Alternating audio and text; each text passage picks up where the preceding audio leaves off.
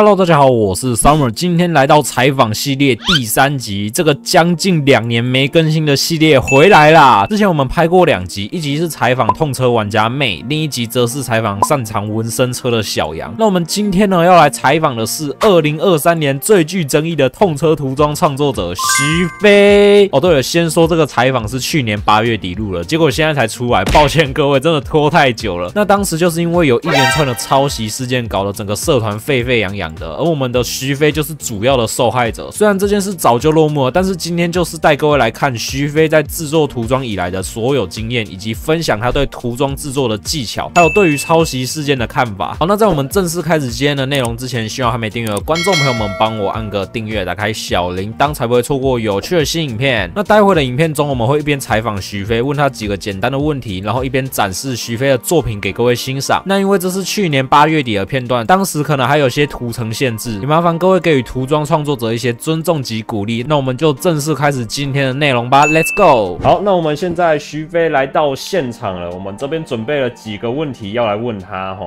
啊，这个是目前 Kawking 涂装界里面非常热门的一个大佬，常常看到他的一些涂装在我们 FB 的社团上面啊。欢迎我们的徐飞，嗨各位。好，那我们现在从第一个简单问题来开始问了哦。你是怎么开始入坑做涂装的？我我其实一开始也是在跟别人买涂装那种人，那渐渐的我就我就觉得我是不是可以自己试试看，然后然后就玩出兴趣。那你最喜欢哪种类型的涂装？为什么呢？我其实每一种类型我都在玩，但痛车是我现阶段最想玩的。哦，果然还是痛车嘛，对，比较有独特性，展现个人的风格。对啊，以我目前来说的话，也是偏爱玩痛车，因为它主要就是除了人物可以做很多细节之外。哦，你甚至在车身上面的一些设计，去融入这个人物的背景，那也是很好的一个感受。这样子，修蛋姐夏天插播一下，CPMS 涂装商城新品上架啦！全新热门涂装车系，超精致细节及涂装设计，加上专业的齿比及底盘调教，让你带回去又能欣赏又能体验驾驶乐趣。不管是痛车涂装、甩尾涂装、赛车涂装、原创涂装、宽体涂装、细标涂装，通通都有。CPMS 涂装商城两百种涂装任君挑选，有兴趣的观众朋友可以。在 Google 搜寻 CPMS 提到，大家看到我们官网看看哦，或是到底下说明栏点连接过去。那我们现在再马上回去看今天的影片内容吧。然后还可以把你的老婆坐在车上，这是何等的享受啊！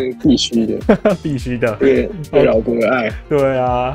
那你最多花过多少时间在一个涂装上面呢？我我之前接过很多那种定制单，嗯，通常三四个小时把它解决。哦，动车的部分差不多，其他的甚至更快。对，有自己的车的话，有些甚至几个星期，甚至一个月，我会花很多时间去调整。哇，对，就是在做一些细部的修饰啊这些的。对，像是米亚塔那一台，它出版真的超烂，嗯，做超烂，就是后续再调整。哎，那还真的做的超赞的，蛮喜欢。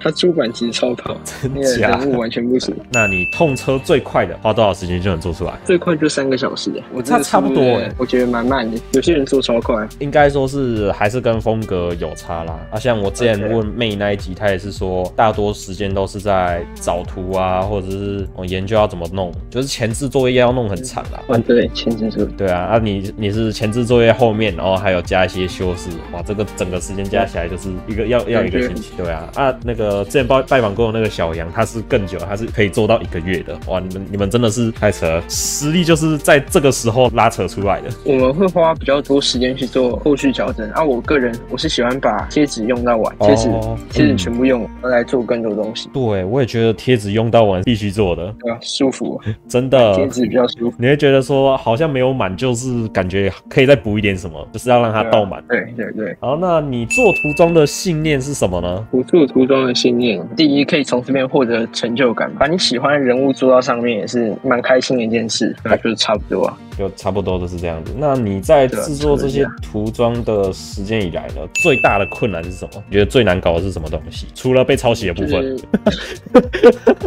应该是省贴纸的部分吧。哦，尤其明日香来讲，它的头发特别长，毛很多，对，毛很多啊，对，就会花很多贴纸。嗯，对，比如说要做双面会非常困难。应该有发现，我明日香大部分是单面。对啊，因为痛车真的是你要做的好，也要学会省图层，甚至你包括那些设计。如果说你像一些人体影印机，他们把全部图层弄弄上去，可是又做到顶，它没有其他装饰，这也是能接受啊。它就是大家风格不一样。等于说我们做完之后，常常会去拆，看有没有可以省下来的，对，把它拆来做。对对对对对对，真的，可能买个呃法师，你可以把它拆下来做别的东西。对啊，对，就是不够，回去前面拆。对，有同感。OK，那对于想入坑或有兴趣做涂装的玩家，你有什么建议呢？哎，第一，比例一定要抓对，你只要比例一错，那你可以全部重做。那也说过比例很重要，你只要一歪，后面会越来越歪。你就是要有一个基准点，这也就是为什么那么多做通车的人都会去画辅助线。哎，你会画辅助线吗？还是就直接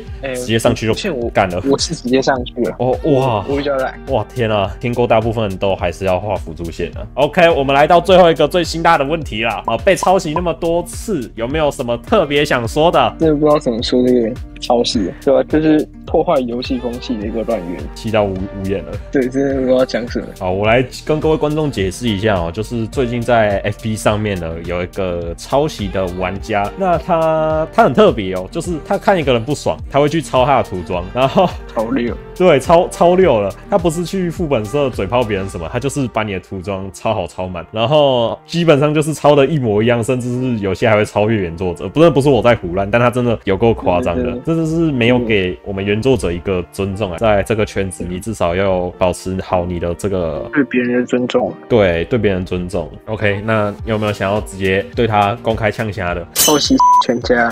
OK OK，好啊，那我非常感谢徐飞来到我们这次的这个共赏骑车节目啊，希望你可以在未来的生涯中过得越来越好。感谢你，谢谢谢谢。OK，真的非常感谢徐飞愿意跟我们分享这些。痛车在 Carking 中一直都非常热门，也是非常具有挑战性的一种涂装，每个人都能创作出属于自己的作品，大家的风格也都不一样。我们 CPMS 涂装商城也一直在研发新的痛车设计，让整台车更精致、更完整。就算你不会做痛车，也可以在我们涂装商城以实惠的价格把你喜欢的痛车带回家哦。各位有尝试过痛车涂装吗？你对痛车涂装的看法如何？欢迎各位观众在留言区一起讨论。OK，以上就是今天的所有内容啦。如果你喜欢这个系列以及夏天的频道，记得要订阅、按赞、分享，不用记得开小铃铛，也可以追踪我们的这些社群，或是加入 Discord 群组与其他玩家一起交流。也可以支持我们 CPMS 涂装商城。感谢各位的收看，我是 Summer，我们下次见，拜拜。